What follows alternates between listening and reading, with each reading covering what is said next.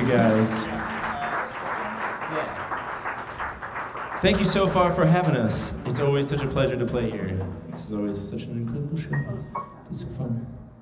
It's like a different, different experience. We're all experiencing. It's different.